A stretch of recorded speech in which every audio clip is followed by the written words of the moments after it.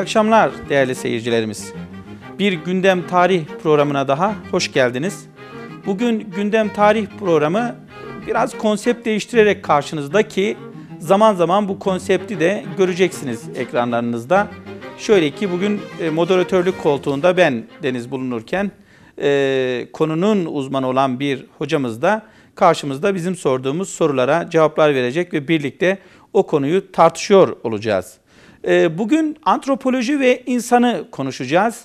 E, Hitit Üniversitesi Antropoloji Bölüm Başkanı, öğretim üyesi, yardımcı doçent doktor Mustafa Tolga Çırak hocam bizlerle birlikte. Hocam hoş geldiniz. Hoş bulduk Sayın Hocam. Ee, teşekkür ediyoruz. Bizleri kırmadınız, buraya kadar geldiniz. Biz de teşekkür Gündem ederiz. tarih e, değerli seyircilerimiz e, gündemle başlıyor.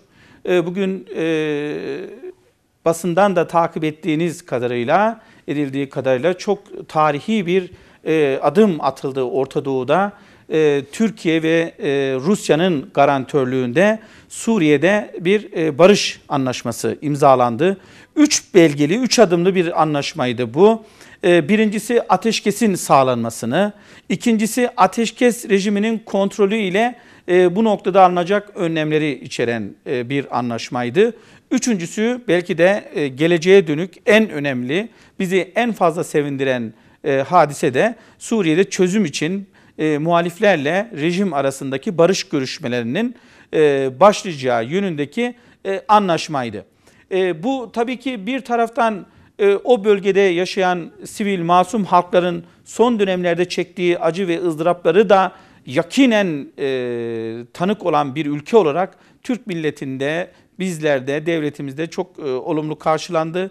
Biz de bu olayı sevinçle karşıladık ve inşallah bu barış anlaşmasının Türkiye ve Rusya garantörlüğündeki bu anlaşmanın e, ömrü olur, tutarlılığı olur diye düşünüyoruz. Anlaşma şu açıdan da çok önemli sevgili seyirciler. E, zira Türkiye ve Rusya Orta Doğu'da, Suriye'de e, terör odaklı bir mücadele verilmesi noktasında resmen de mutabık kalmış oldular. Bu aynı zamanda e, uzunca bir zamandır Orta Doğu'da terör örgütlerini muhatap alan, terör örgütleri üzerinden Orta Doğu'yu, Suriye ve Irak coğrafyasını hatta Türkiye'yi dizayn etmeye çalışan Amerika Birleşik Devletleri ve Avrupa Birliği'nden de e, Türkiye ve Rusya'nın resmen ayrıldığını göstermesi açısından da önemliydi. Yani e, dün e, Rusya'nın e, YPG'ye, PYD'ye mühimmat adı altında silah yardımı yapması, bugün Sayın Cumhurbaşkanımızın bunu açık bir dille e, biz bunları yutmuyoruz, biliyoruz sizin ne yaptığınızı açıklamasının ardından gerçekten şu anlaşma çok önemli Orta Doğu'nun geleceği açısından diye düşünüyoruz. Bu arada e, Türkiye'nin Elbap'taki e, hareketi, e, operasyonları sürüyor. E, Membiç, Afrin arasında Kürt koridorunun tamamıyla teröristlerden arındırılıp bu terörist unsurların temizlenmesi noktasındaki Türk Silahlı Kuvvetleri'nin çalışma ve çabaları devam ediyor. Bunu da ifade edelim. Bu konulardaki memnuniyetimizi ifade edelim. Hayırlara vesile olmuştur inşallah diyelim Sayın Hocam. Ve biz e, gündem tarihte, e, evet gündem burada dursun. Tarihe, antropoloji ve insanı konuşacağımız, e, tartışacağımız programımıza doğru yönelelim. E, Sayın Hocam e, şöyle başlayalım. E, antropoloji deyince e, ne anlamalıyız? E, bizi izleyen izleyicilerimiz e, biraz da kavram olarak da uzaklar. E, antropoloji nedir? Ne ile uğraşır? Buyurun. Çok teşekkür ediyorum.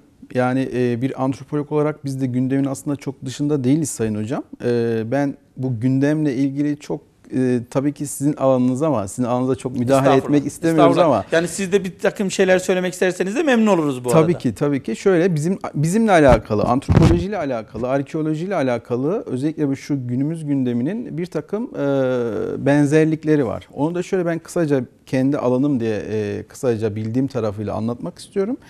Ee, sevgili izleyicilerimizden şunları, şunu rica ediyoruz. Ee, internetin başındayken e, bereketli hilal diye Google'a yazsınlar. E, bir harita çıkacak karşılarına. Evet. Orta Doğu'yla ilgili bir harita. E, nedir bu bereketli hilal? Bereketli hilal dünyada, dünya üzerinde bu coğrafyalarda ilk defa biz kentleşmenin, şehirleşmenin olduğuna tanık oluyoruz.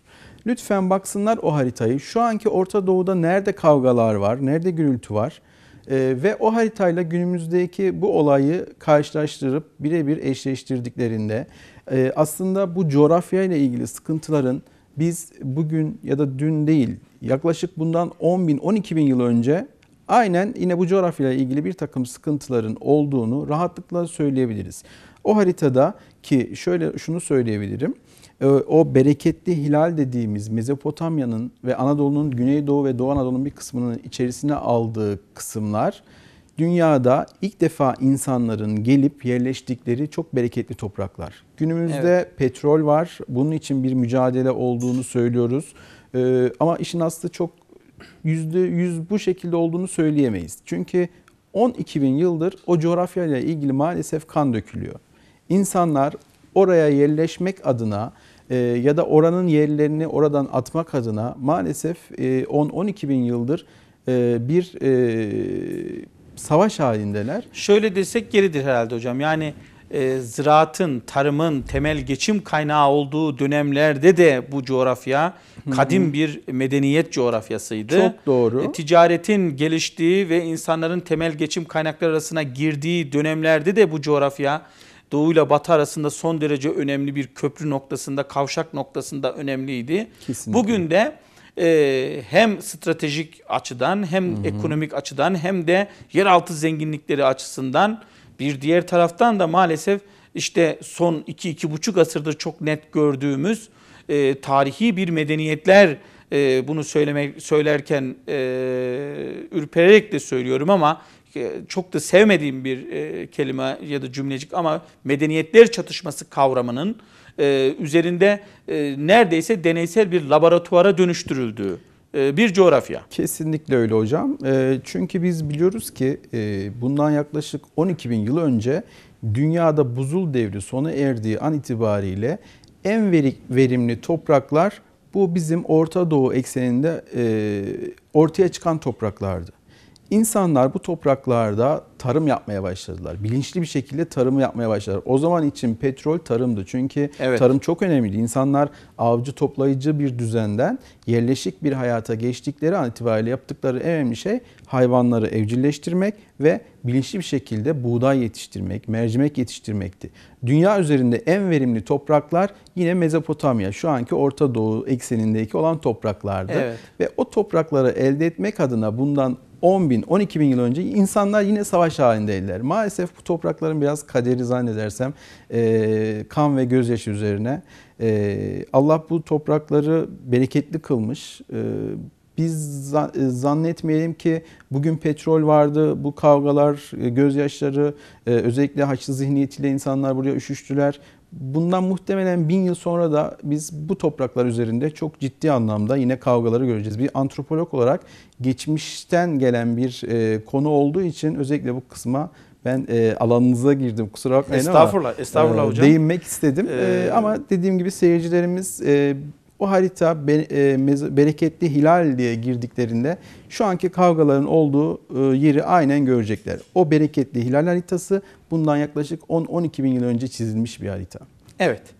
Ee, Ee, soruya Diğer evet gelelim. e, şimdi asıl konumuza gelmek istersek e, evet antropoloji e, mutlaka herkesin bir şekilde aşina olduğu, duyduğu, televizyonda özellikle son dönemlerde isminin çok sık geçtiği bir konu.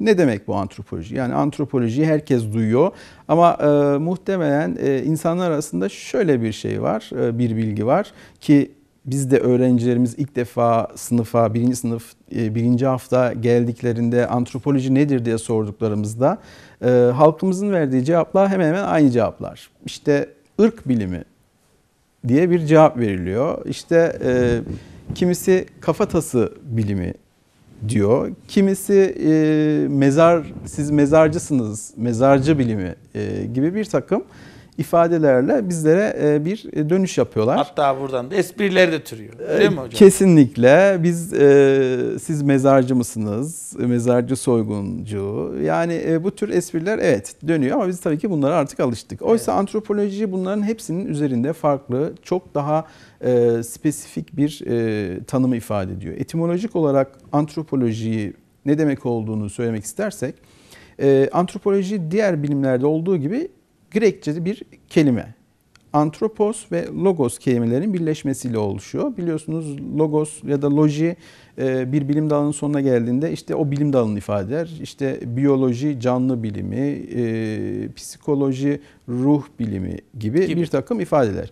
E, antropos insan demek. Dolayısıyla antropos ve logos, logis isimleri bir araya geldiğinde antropoloji terimini oluşturuyor. Terim anlamı olarak biz buna insan bilimi diyoruz.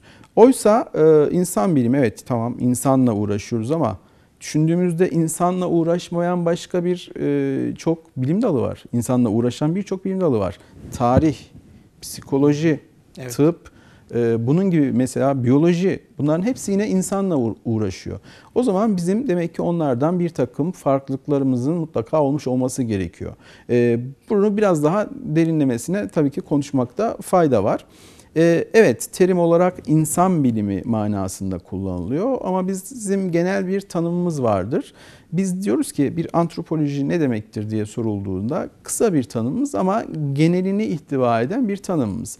Ee, geçmişte ya da günümüzde yaşayan ya da yaşamakta olan insanların hem biyolojik hem de kültürel unsurlarını, yapılarını inceleyen ve günümüzde geçmiş arasında mukayese eden, karşılaştırma yapan bir bilim dalıdır diye biz antropolojiyi kısaca tanımlıyoruz.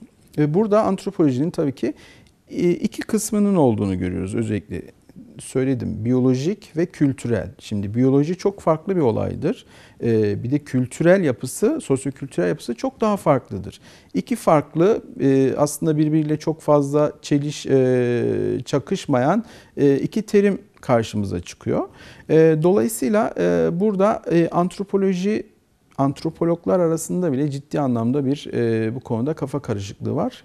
Zira biyolojik kısmı çok çok daha farklı ve kültürel kısmı çok daha farklı konuları ihtiva ediyor. Birkaç Neredeyse örnek... şöyle bir şey var değil mi hocam? Ee, çok bilim dalında e, vardır ama birçoğunda da yoktur bu. Hı hı. Ee, işte e, sosyal antropoloji, kültür antropolojisiyle uğraşanların diğer e, antropolojik sahalarla pek e, işte anlamadıkları, anlayamadıkları çünkü o alanda ihtisaslaşınca tam e, tersi öbür tarafında bu tarafı anlamakta zorlandıkları böyle uçlara doğru kaymış bir konusal dağılım e, var e, gibi. Kesinlikle Sayın Hocam çok haklısınız. E, şöyle izah edebiliriz. E, biz temel olarak antropolojiyi biyolojik ve sosyal diye ikiye iki ana başlığa ayrı, ayırdığımızda e, biyolojik antropoloji işte masa üzerinde bizim kazılardan çıkartmış olduğumuz e, insan, gerçek insan iskeletleri var. Biyolojik antropoloji kısmında insanın geçmişteki ve günümüzdeki insanların e, her türlü biyolojik yapısını biz ortaya koymaya çalışıyoruz. İşte kazılardan çıkartılan insan iskeletlerini ne yapıyoruz? Değerlendiriyoruz. Onlarla ilgili bir takım e, işte hastalıkları gibi ya da işte patolojileri işte ya da cinsiyetleri gibi bir takım verileri ortaya koymaya çalışıyoruz. Ve geçmişteki bu insanların biyolojik yapılarıyla günümüzdeki insanların biyolojik yapıları arasında mukayese ediyoruz. Ya da e, aynı coğrafya üzerinde ama farklı Bölgesel alanlardan çıkan e, yapıları e, karşılaştırıp benzerliklerini ve farklılıklarını ortaya koymaya çalışıyoruz. E, antropoloji e, genel anlamda genç bir bilim dalı ama aslında geçmişi çok çok eskiye dayanıyor. E, ta antik Yunan'dan günümüze kadar e, bir gelişim süreci göstermiş olan bir bilim dalı. E, bu e, nispette biz bütün bilim dallarıyla antropolojiyi bir araya getirebiliyoruz. Tarih bunlardan en önemlisi. Evet. Ee, işte gerek biyolojik antropoloji, gerekse sosyo ya da kültürel antropoloji e, tarihle çok sıkı fıkı bir ilişki içerisindedir. Çünkü tarih bizim için bize e, kaynaklık göstermesi adına çok önemlidir. E, bunun haricinde fizik, kimya, biyoloji gibi birçok bilim dalları yine antropolojiye yardımcı bilim dalları olarak bizde çok değerli bilgilerini paylaşır. Sosyoloji keza yine aynı şekilde. Onun haricinde halk bilimi, etnoloji yine aynı şekilde. E, yani antropoloji deyince e, aslında bir disiplinler arası bir bilim e, direkt aklımıza geliyor. Tek bir yerden kaynak almıyor birçok farklı bilim dalının e, bir araya gelmesiyle e, insanlığı tanıma adına, insanın kendisini tanıma, toplumu tanıma adına e, bir takım bilgileri biz Bu arada ortaya da koyuyoruz. tabii birçok bilimden yararlanırken aslında birçok bilime de veri sunuyor. Kesinlikle Ee, hocam. Biz de çalışmalarımızda sosyal antropoloji, saha çalışmalarını e, sık sık kullanıyoruz. İnanç yapıları, toplumların kültürleri, yaşam biçimleri, o günkü aile, toplum algıları vesaire. Bu e, tür e, çalışmalarda antropolojinin bize sunduğu imkanlardan yararlanıyoruz. Değerli hocam. Kesinlikle şunu eklemek istiyorum. Ee, Şimdi iki ana başlığa ayırdık ama o iki ana başlığında kendi içlerinde e, devasa bir alt çalışma alanları var. Mesela sosyal antropolojide sizle alakalı olarak tarihsel antropoloji var bizde. Mesela e, bir e, din antropolojisi kavramı var. Dil antropolojisi var. Ee, bu tarafa geldiğimizde, biyolojik kısmına geldiğimizde mesela adli antropoloji var Ee, ya da işte arkeoloji yine bunun içerisinde değerlendirilebiliyor. Paleo antropoloji bunun içerisinde değerlendirilebiliyor. Fiziki antropoloji bunun içerisinde değerlendirilebiliyor. Yani birbirinden e, ayrılan iki ana başlığın altında devasa bir çalışma alanı ve alt disiplinler mevcut. Özellikle Evet. sosyal antropoloji size de sizde de çok yakından alakalı ilgili bir e, bilim dalı olduğu için söylüyorum. E, e, biz her gün uyandığımızda sosyal antropolojinin farklı bir farklı bir disiplin e, adı altında e, bilim dünyasına katıldığını görüyoruz. Bir gün uyanmışız medya antropolojisi diye karşımıza çıkmış. Başka bir gün e, işte kadın antropolojisi, feminist antropoloji diye ortaya çıkmış. Bunun hepsi işte tüm diğer bilim dallarıyla entegre bir çalışma prensibine sahip olması, antropolojinin çok geniş perspektifte bir değerlendirme bilim dalı olması e, bunların hepsinin alt zeminini oluşturuyor hocam. Evet Sayın Hocam. Ee, Biraz daha e, şey yapalım. Bu akademik e, güzel bilgilerden sonra biraz daha e, tartışılan en azından az çok dinleyicilerimizin, izleyicilerimizin de vakıf olduğu bir mesele. Mesela antropoloji biliminin tarihsel gelişimi. Ee, O biraz önce söylediğiniz ırk bilimi, kafatasçı bi- bilim ya da kafatası bilimi gibi tanımlamaların aslında bir tarihsel de altyapısı var. Kesinlikle. Ee, yani durup dururken böyle bir şey de çıkmamış ortaya. Ee, dolayısıyla bu bilim dalının aslında bu tarihsel gelişim, ortaya çıkışı ve gelişim süreci, bu süreç içerisindeki e, bilimin dışındaki o siyasi, o dönemin dönemsel, konjonktürel, e, hatta ideolojik bir takım angajmanlarını da içinde barındıran e, süreçleri de çok çok önemli. Bu konuda ne dersiniz hocam? Ee, Evet, çok haklısınız. Doğru söylüyorsunuz hocam. Şimdi ilk başta program başlangıcında e, işte insanlar arasında bir e, kafa işte antropoloji deyince ırk bilimi ya da kafatasçı bir e, tanım geldiğini söylemiştik. Aslında bu e, gelişi güzel oluşturulmuş bir tanım kesinlikle değil.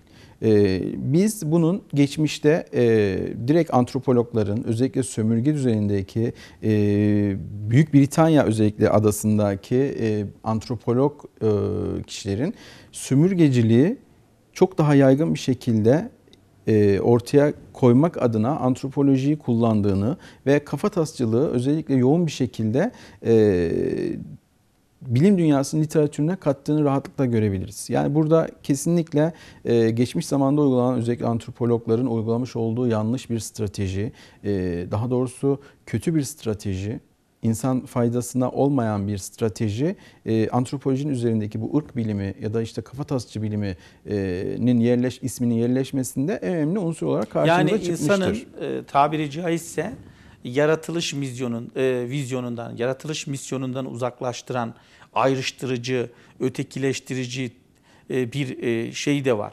Mesela biz e, sık sık e, sömürgecilik hareketleri ya da e, işte bu Birinci Cihan Harbi, İkinci Cihan Harbi dönemlerindeki bir takım tarihsel hadiselerde birçok kez antropolojik söylemlerle bir siyasetin o günkü bir politikanın meşrulaştırılmaya çalışıldığını görürüz. Kesinlikle. Mesela Birinci Dünya Savaşı yıllarında işte kullanılan bir şeydir bu. E, zannedersem Sykes e, olması lazım. Sir Sykes bu meşhur Sykes-Picot anlaşması. Diyor ki e, yani e, işte e, siyah ve siyaha meyilli adamın kendini yönetebilme kabiliyetinin olduğundan şüpheliyiz. Bu nedenle bunlar kendi başına bırakılmamalı. Mutlaka işte e, medeniyeti temsil eden, daha ileri seviyede e, kültür ve medeniyet kodlarının olduğu iddia ettikleri Batı'nın gelip buraları yönetmesi, yönlendirmesi. Böylece ne yapıyor bakın? E, antropolojik bir söylem, bilimsel bir söylem üzerinden aslında e, kendi siyasetini, politikasını da meşrulaştırmaya çalışıyor hocam. Kesinlikle, kesinlikle. Ee, ben e, bu konuyu biraz şeye benzetiyorum. Ee, fizik çok önemli bir temel bilimlerden bir tanesidir. Evet. Siz fiziği e, alıp e, insan f- e, menfaatine çok değerli e, bir takım bilimsel çalışmalarla süsleyebilirsiniz. Ve bu insanlık tarihi açısından önemli bir takım e, yan ürünler verir bize. Oysa atom bombasının ya da hidrojen bombasını da icat ederek yine fizik bilimi adı altında insanlığın yok olmasına bir sebep olabilir. Ben e, antropolojinin özellikle kuruluş döneminde e, maalesef bu fizikteki atom bombası, hidro- hidrojen bombası icadına benzer bir takım benzerlikler görüyorum. E, tarihsel gelişimine şöyle bir göz attığımızda e, biz antropoloji bilim olarak değil ama antropolojik bir takım bilgi bilim, e, bilgi kırıntılarını antik Yunan'a kadar uzatabiliriz. Ki e, tarihinde babası sayılan e, Halikarnaslı e, Herodot e, aynı zamanda antropolojinin Nin de babası. Tabii antropolojinin de kurucularından bir tanesi kabul edilir. Önemli bir insandır.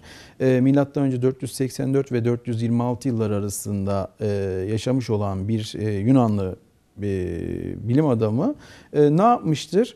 İşte özellikle e, o dönemde bundan yaklaşık 2500 yıl önce bir takım geziler yapmıştır. Ki antropolojide alan araştırması çok Saha önemli bir çalışması tabii çok ki önemli. saha çalışması çok önemlidir. Bu gerek biyolojik antropolojide gerekse kültürel antropolojide. Mesela o dönem için pek mümkün olmayan e, İskitlerle Mısırları biyolojik ya da kültürel anlamda karşılaştırmıştır. Karşılaştırma yapmıştır. Antropoloji için üç tane soru önemlidir. İnsanlar e, ya da toplumlar neden birbirlerine benzerler? İnsanlar ve toplumlar neden birbirlerine benzemezler? Ki sömürgeciliğin ana çıkış noktası insanlar bize niye benzemez? Özellikle Afrika'daki ilkel kabiller bize neden benzemezleri ortaya çıkarmak adına yapılan gezilerde zaten sömürgeciliğin oluşmasına en büyük etkendir. Bir üçüncü soruda eğer insanlar birbirine ve toplumlar benzemiyorsa e, ne, ne tür bir değişme olmuştur? Bu tür sorulara cevap arar ki e, Herodot'ta yapmış olduğu özellikle Akdeniz bölgesinde yapmış olduğu gezilerde e, Akdeniz bölgesindeki insan topluluklarının biyolojik anlamda benzerlik ve farklılıklarını ortaya koydu. Kültürlerinin özellikle biyolojik yapılarının kültürlerine olan etkilerini ortaya koydu. İnsanları bir takım işte e, değer yargılarıyla değil, kültürel davranışlarına çok fazla kendi görüşünü katmadan e, bir karşılaştırma yaptı. İşte Mısırlılar e, biraz daha e, sıcak iklimde olduğu için tenleri biraz daha koyu renklidir dedi. İşte İskitler biraz daha kuzeydedir, daha e, ılıman bir iklime sahip oldukları için biyolojik yapıları şu şekildedir dedi. E, ve onların kültürleri arasında ne tür benzerlik ya da farklılıklar olduğunu ilk defa ortaya koyan kişi olarak antropolojide de önemli bir yere sahiptir Herodot. Ee, tabii ki ondan sonra yine birçok e, özellikle Yunanlı bilim adamları ya da e, daha sonra e, Avrupalı bilim adamları antropolojik anlamda bir takım çalışmalar yaptı. Her yapılan çalışma antropoloji biliminin tabii ki faydalı ve ön yargısız yapılanları kastediyoruz. Antropoloji biliminin oluşmasında e, önemli bir e, basamak oldu.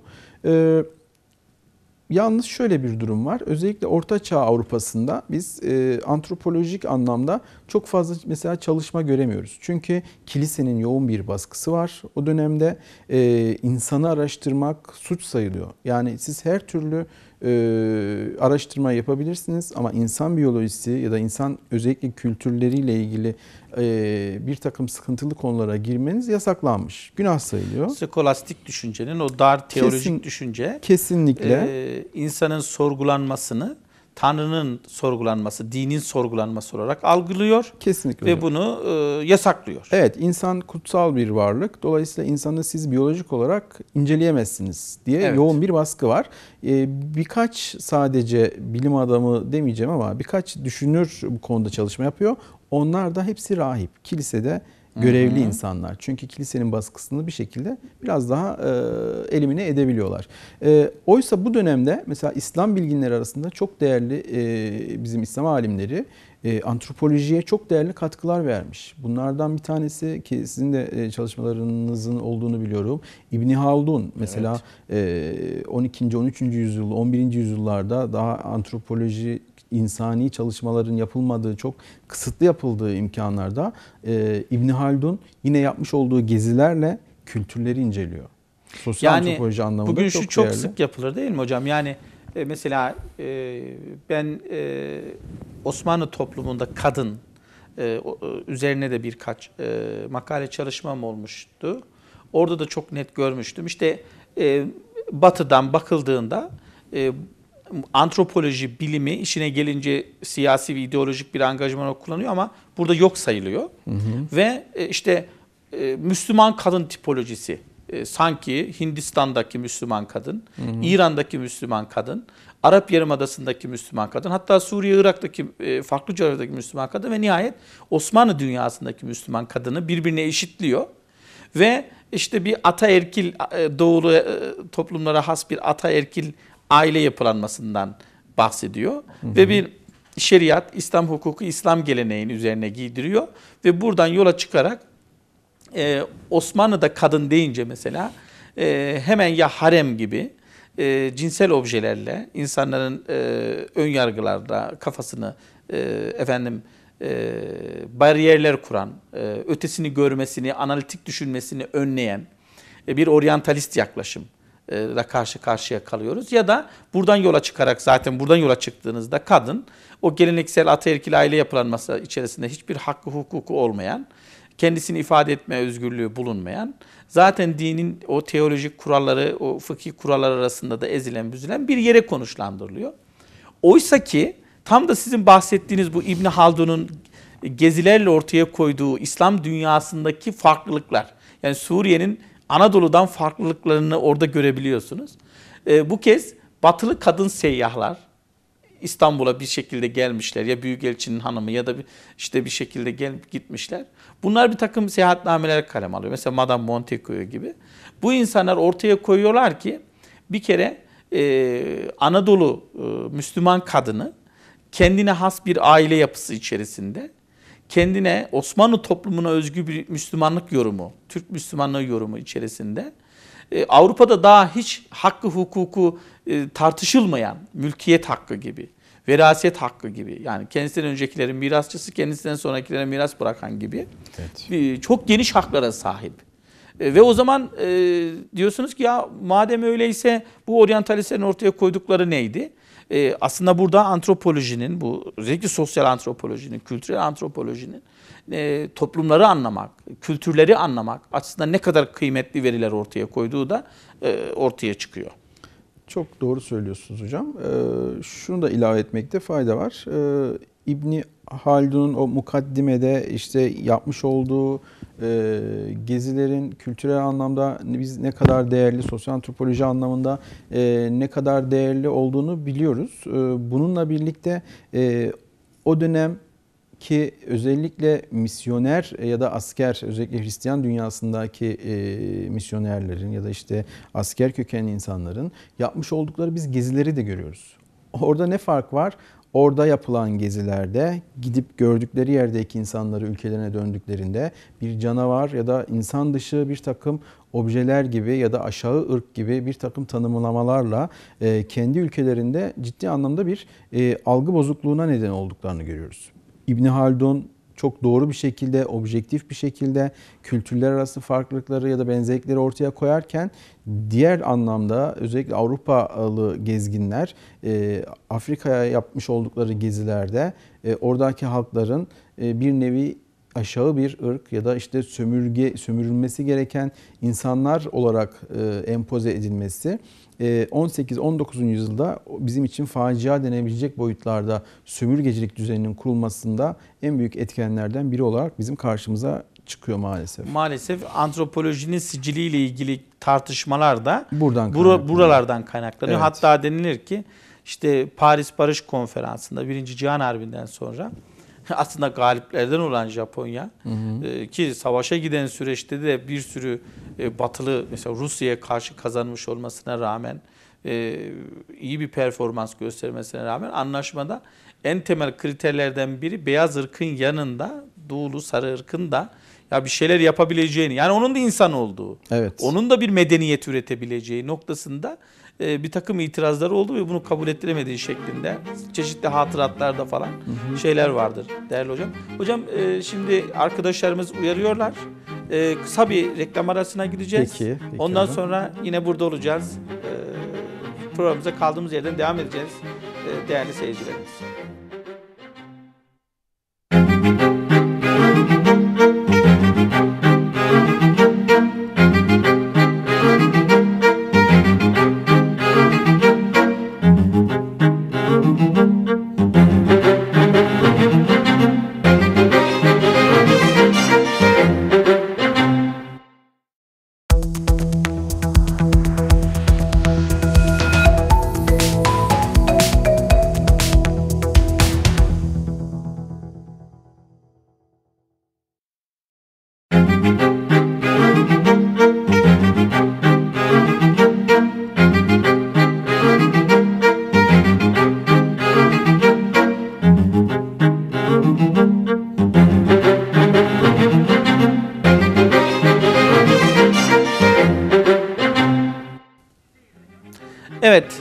Değerli seyircilerimiz gündem tarih kısa bir reklam arasından sonra devam ediyor. Antropoloji ve insanı e, konuşmaya devam ediyoruz. Değerli hocamız Mustafa Tolga Çırak hocamızla. Hocam e, şimdi peki bir de buraya notlar aldım ben. Kültür ve antropoloji arasında yani reklamlardan önce kaldığımız yerden devam edelim. Hı hı. Nasıl bir ilişki kurabiliriz?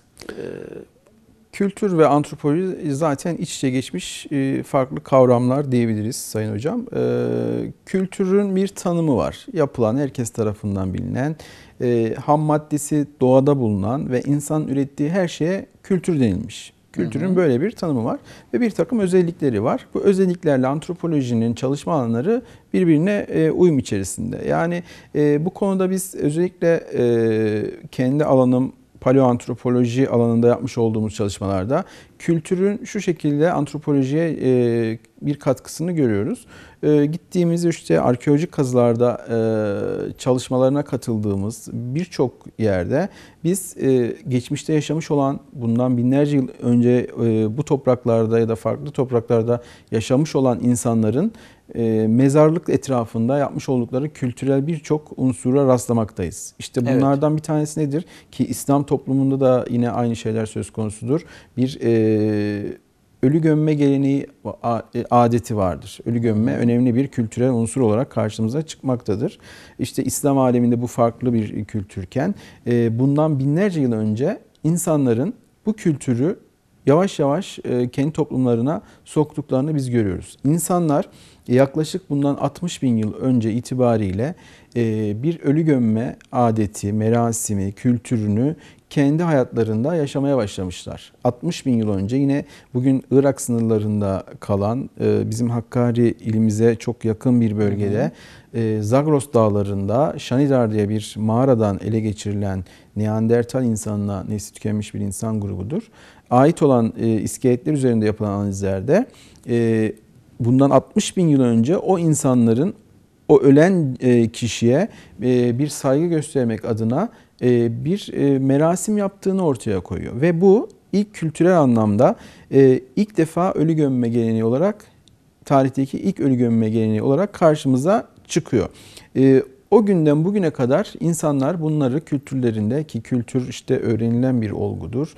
Sonraki nesillere aktarılan bir olgudur.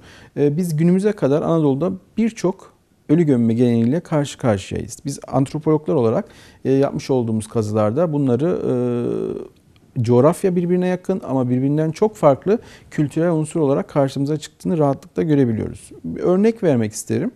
E, mesela biz şu anda bir İslam kültürü bir kefen adetimiz vardır. E, bir biri vefat ettiği zaman onu işte yıkarlar, kefenlerler. Sonra işte e, baş tarafı kıbleye gelecek şekilde sağ tarafı üzerine yatırılır. Bu İslam'ın bir e, e, ölü gömme kültürüdür, geleneğidir. E, biz kefen adetini Anadolu'da yaklaşık olarak 7000-7500 yıl önce görmekteyiz. Yani insanlar Aşık Aksaray'da Musular diye bir antik bölgede yerleşim yerinde bundan yaklaşık 7000-7500 yıl önce ölülerini kefenlemeye başlamışlar.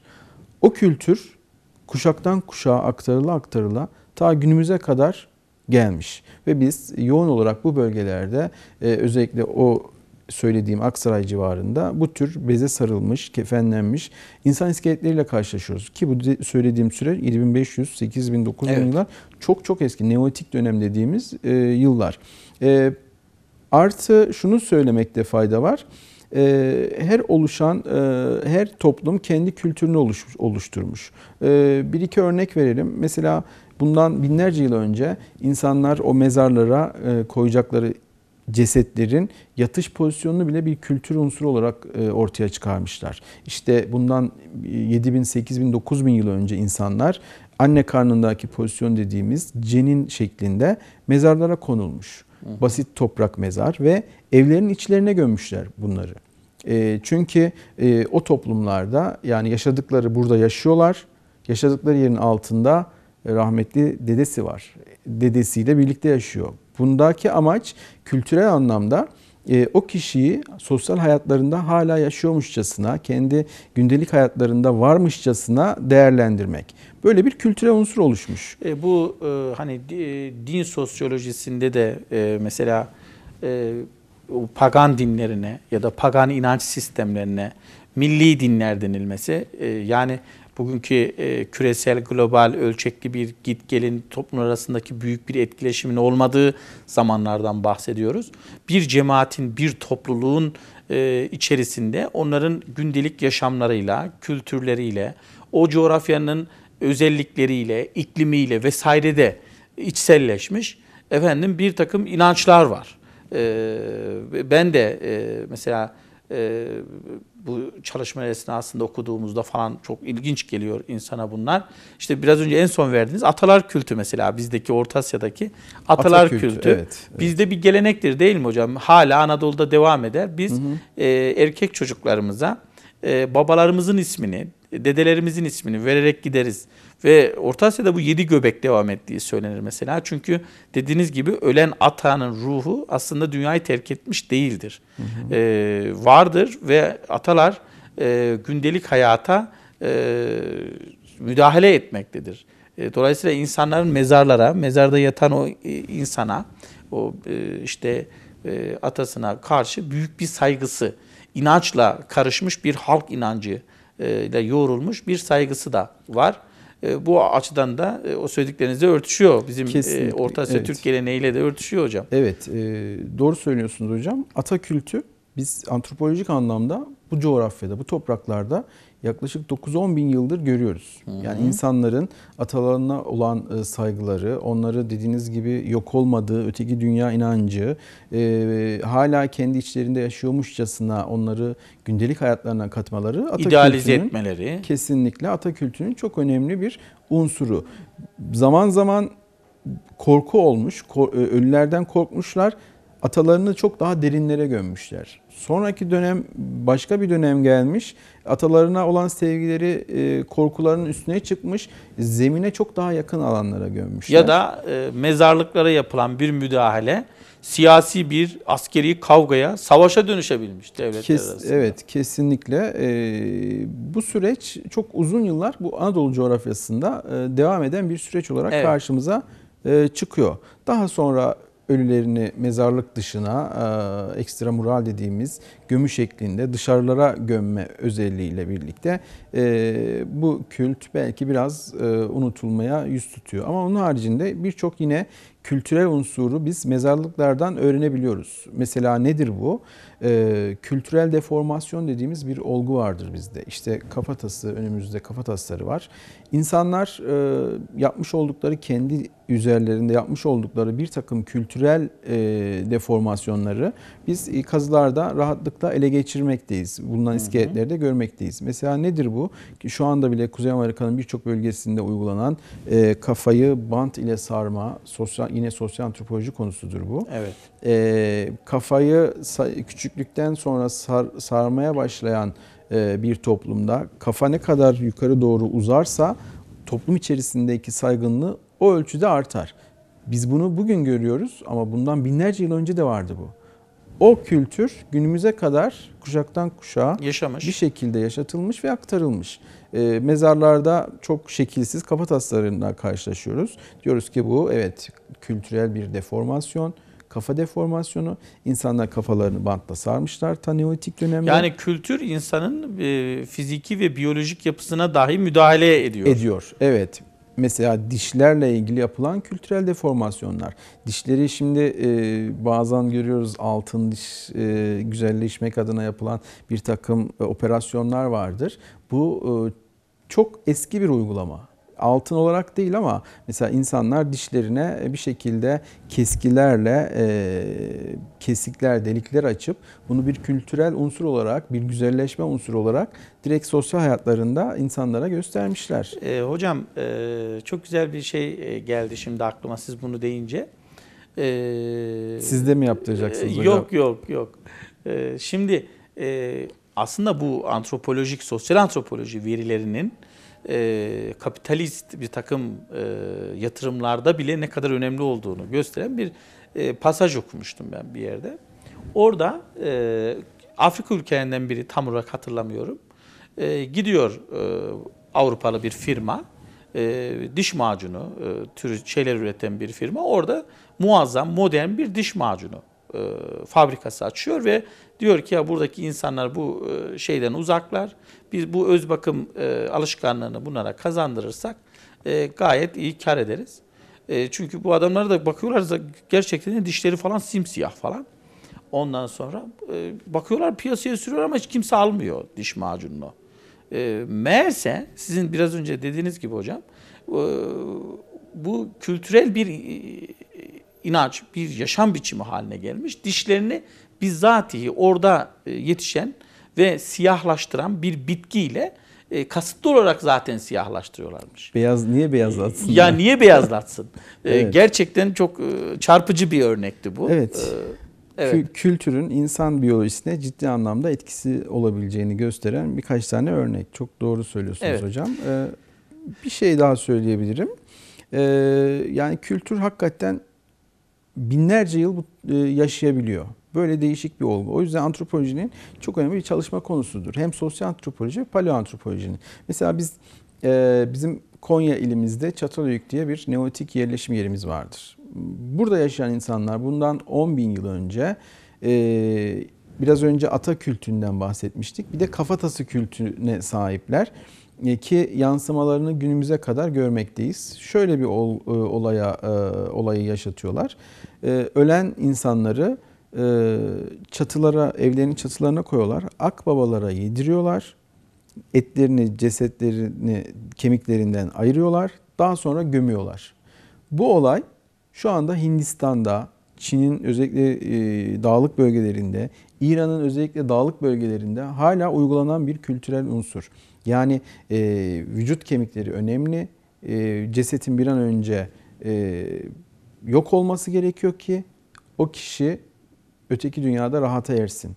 Evet. Böyle bir uygulamaya sahipler ve bu günümüze kadar gelmiş bir uygulama. Yani kültür bir şekilde günümüze kadar e, geliyor. Bunu evet, görebiliyoruz. Hocam. Şimdi hocam e, bir de e, önümüzde e, kafa tasları var. Korkmadınız değil mi hocam? E, hayır korkmadık. İzleyicilerimiz Siz zaten daha önce de benim odada fazlaca evet, gördüğünüz yani için. Yani fazlaca gördük. Biz alıştık. E, izleyicilerimiz de merak edebilirler. Aha. Ya bunlar nedir? Niye orada dururlar? Gerçek midir? Değil midir? falan diye. evet. Şimdi e, antropolojik veriler ışığında biz e, bu çalışmalar, sizin yaptığınız bu çalışmalar ışığında E, mesela e, biz, biz biliyoruz ki e, antropologlar adli bir takım vakaların bile e, çözülmesinde e, işte e, çok önemli çalışmalar yapabiliyorlar ve o problemi çözebiliyorlar. Dolayısıyla biz buradan yola çıkarak bu sizin yaptığınız çalışma yola çıkarak geçmişte tarihte yaşamış olan insanların beslenme alışkanlıkları ya da geçirdikleri bir takım hastalıklar vesaire bunlara dair bir şeyler söyleyebiliyor muyuz hocam? Kesinlikle hocam. Bizim için zaten önemli çalışma alanlarından bir tanesi bu söylediğiniz e, konular. Yani e, antik dönemlerde işte bu bireyler ne ile beslenmişler, ne yiyip ne içmişler ya da yaşantılarında ne tür bir hastalığa sahiplermiş. E, yaşayan bireyin demografisi bizim için önemli. E, çıkarttığımız bu birey kadın mıymış, erkek miymiş, kaç yaşında ölmüş. Bunların hepsi antropolojinin özellikle iskeletlere bakarak e, ortaya koydukları önemli çalışma alanlarından bir tanesini oluşturuyor. Evet. Ee, biraz önce de söyledim. Yani kemik bizim için çok önemli. Özellikle kafatası hem o bireyin cinsiyetini verme adına ya da yaşını verme adına ya da bir takım işte e, dişler var. E, mesela alt çeneyi görüyoruz. O alt çenede işte e, şöyle izah edelim bu iskeletlerle bir takım hikayeleri oluşturma adına e, bizim için en, en önemli çalışma alanı. E, alanı görüyoruz. E, normalde bu birey işte mezar içerisinde e, mi e, dişlerini kaybetmiş yoksa yaşarken mi dişlerini kaybetmiş diye bir sorumuz var bizim. Mesela burası kapanmış. Dişlerin normalde olması gerekiyor. Bir diş mezar içerisinde yani kişi öldükten sonra defnedildikten sonra toprağın etkisiyle yerinden çıkarsa burası şöyle oyuk şeklinde kalır. Ama e, yaşantımızda dişlerimizi kaybediyoruz. Yaşant ya- normal yaşıyoruz dişimizi çektirdik. Belli bir süre sonra buradaki kemiklerin biz kapandığını görüyoruz. Şimdi bununla ilgili tabii ki bu 2000 yıllık bir kemik. Bu şey de olabilir değil mi hocam? Mesela ben sizden iyi hatırlıyorum, e, sormuştum, e, siz de hatırlayacaksınız. Bir tane e, burada var mı bilmiyorum, kafatasında mesela alt çenek kemiğinin büyük bir kısmı çürümüştü. Ben de demiştim ki ya buna ne olmuş diye. Siz de e, muhtemelen dişinin apse yaptığını, Tabii ki. o günlerde de tabii antibiyotik tedavisinin falan olmadığı için de e, böylesi bir şeyin bir ölüm sebebi bile olabileceğini söylemiştiniz. Kesinlikle doğru söylüyorsunuz hocam. Ee, şimdi mesela diyoruz ki bu kişi yaşantısında buradaki dişlerini kaybetmiş. Sadece ön dişleri var ve o ön dişleriyle bir takım e, gıdaları, besinleri tüketmeye çalışmış. Sadece ön dişlerimizde çok fazla öğütme işlemlerini yapamayız. Bu sosyal hayatında e, çok ciddi sıkıntılarla karşılaşmış bir birey olarak karşımıza çıkıyor. Biz bunun direkt hikayesini bu şekilde yapabiliyoruz tabii ki. Bununla birlikte şunu söyleyebiliriz. Ee, evet antik dönemlerde şimdiki günümüzdeki gelişmiş ilaçlar, antibiyotiklerin hiçbiri yok. İnsanların en büyük ölüm nedenlerinden bir tanesi dişlerdeki çürükler, apse. Çünkü enfeksiyon çok önemli. Ee, özellikle diş üst çenedeki bir apsenin beyni etkileme ihtimali çok fazla. Tedavi edemiyorlar ve o ilerliyor kanallar vasıtasıyla beyne kadar geçiyor ve kişinin ölümüne neden oluyor. Şurada mesela bir başka kemiğimizde e, bireyin belki ekranda da e, görme imkanına sahip olabilirler. Şu alan e, bu bireyin bir enfeksiyon geçirdiğini gösteriyor. Yaşantısında e, ciddi bir enfeksiyonla muzdarip olmuş, e, çok muhtemelen çok ciddi ağrılar çekmiş bir birey. Biz bunların hepsini kemiklerin üzerinden görebiliyoruz. Sadece o mu değil. Mesela e, şurada bir bireyimiz var. Şunu şöyle alabilirsek. Bizde kafa taslarında şu normal bir kafa tasıdır. Şu ortadaki çizgi yoktur. Ee, Bu her bireyde olan bir e, olgu değildir. Ee, Metopik sutur dediğimiz bir suturdur bu. Normalde çocuklukta daha doğrusu bebeklikte bu sutur herkeste belli bir yaştan sonra kapanır. Ama mesela bu bireyde kapanmamış. Bu bir e, varyasyon. Varyasyon nedir? E, bir hastalık değil ama her kişiden kişiye değişen, herhangi bir sağlık sorununa neden olmayan ama toplumda görülme sıklığı çok düşük olan bir takım özelliklerdir. Örnek verelim mesela kulak mememizin olmaması bir varyasyondur. Dilimizi yuvarla, yuvarlaklaştırma bir varyasyondur. Kafatasında da bu tür varyasyonlar var. Mesela burada bu bireyde e, çok nadir de olsa görülebilecek bir olgu. Biz bunu direkt e, yine kemikler üzerinde rahatlıkla görebilmekteyiz. Dediğim dediğim gibi kemikler bize, iskeletler bize, kafatasları bize çok değerli o bireyle ilgili ve toplumla ilgili bilgiler veriyor. Ben e, şimdi sizin konunuzla alakalı ama mesela şu, şöyle bir e, örnek vermek istiyorum. Roma'nın yıkılma dönemi vardır. Onu hepimiz tarihçiler, sizler e, anlatırsınız. Ama biz bizlerin de antropologların da Roma'nın yıkılmasıyla ilgili değişik bir e, görüşü var. O da Evet. şudur. E, biz biliyoruz Roma döneminde e, Roma gelişmiş bir medeniyetti. E, işte kentlerinde evlerin içlerine kadar e, su sistemi kurdular. Kurdukları su sistemi kurşunlu borularla evlere kadar su getirdiler. E, bu bir gelişmişlik göstergesiydi. Hemen hemen birçok Roma kentinde biz bunlarla karşılaşıyoruz. Su boruları, kurşunlu su boruları. E, ancak antropologlar Roma dönemindeki o suyu kullanan insanların iskeletlerini analiz ettiklerinde şununla karşılaştılar. Kemiklerinde normal bir insanın vücudunda olması gereken kurşundan çok daha fazla kurşun biriktiğini tespit ettiler. Bu peki ne demek? Yani fazla kurşun birikirse vücutta ne olur? Bir kere kurşun biliyorsunuz zehirli bir e, element, e, metal. E, fazla miktarda kurşunun birikmesi bir bireyde bir takım e, tıbbi anlamda ciddi anlamda rahatsızlıklara neden oluyor. Bunlardan e, bir tanesi tabii ki zehirlenme. E, onun haricinde e, beyin fonksiyonlarında ciddi anlamda gerileme meydana geliyor. Yoğun bir Evet. miktarda kurşun al- alan bir birey, bir toplum zihinsel anlamda e, yani ciddi anlamda sıkıntıya girebilir. Artı üremeyle ilgili çok ciddi anlamda yine e, tıbbi sıkıntılar girebilir. Şimdi bu Roma döneminde uzun süre kullanıldığı için birçok bireyi etkilemiş. Bir toplum düşünün. Çoğalmada ciddi sıkıntıları var. Toplumsal bir e, travmaya, bir hastalığa Kesinlikle. dönüşmüş. Bunu da şuna benzetiyorum ben. Cep telefonları da muhtemelen e, bu yolda inşallah bundan e, bin yıl sonra da bizim karşımıza bir antropolog bizi incelediğinde bunlar ciddi bir cep telefonu kullandıkları için bu şekilde bir rahatsızlığa uğramışlar diye karşımıza çıkmazlar. Yani hocam bizde olmadı mı işte Çernobil faciasından sonra Hı hı, e, o radyasyon e, ülkemize de yayıldı. tabii. Ve e, Karadeniz yani ülkemizin akciğeri, e, bölgenin akciğeri e, en az kanser riski olan bölge ciddi anlamda kanser hastalıklarının vakaların attığı bir yer Olarak haline geldi. çıktı. Çok güzel bir örnekti bu bu anlamda. Hocam e, programımızın sonlarına geliyoruz. E, şimdi şöyle de bir şey vardır. E, antropoloji söz konusu olunca. E, şimdi ben sizin anlattıklarınızdan e, hele hele e, işte e, sosyal tarih e, ve toplumun e, hele e, de İslam toplumu, Osmanlı toplumunun din, dini zümreler konularını çalışan bir birisi olarak e, biraz da şaşırdım doğrusu. Yani e, genelde antropologlarda işte bu e, belki de çalışmalarının özellikle bu sosyal ve kültürel alanda çalışmalarının hani çalışanlar çalıştıkları konuları çok kanıksarlar ve artık ona bir çalışma sahası olarak bakmaya başlarlar. Evet, evet. E, tezi herhalde burada işliyor.